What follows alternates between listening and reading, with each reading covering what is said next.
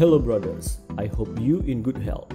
Suzuki recently unveiled new livery for their flagship motorbike, the GSX-R 1000R, which similar with GSX-RR Suzuki Ecstar MotoGP livery.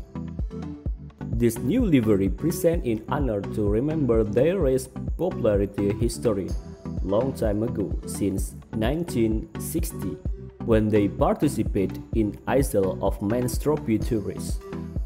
And then two years later, their racer Ernst Degner became the winner of World Championship in 50cc category.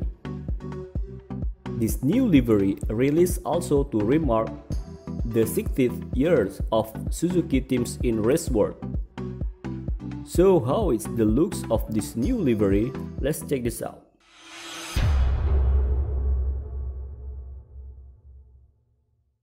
Suzuki give for their mass production bike a new livery brothers.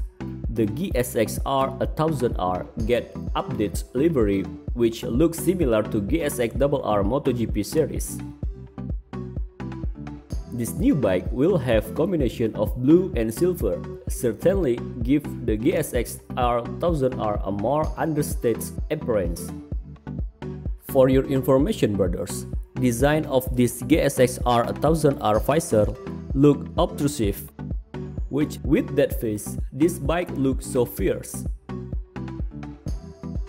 Suzuki teams also developed new engine for this GSX R1000R to pass the Euro 5 standard. The design of engine inspired from their GSX-RR MotoGP that has variable valve timing or VVT. And the main specification is DOHC 4 cylinders 4-stroke with displacement 1000cc. Besides the GSX R1000R, their bike which also gets new update livery is GSX R125.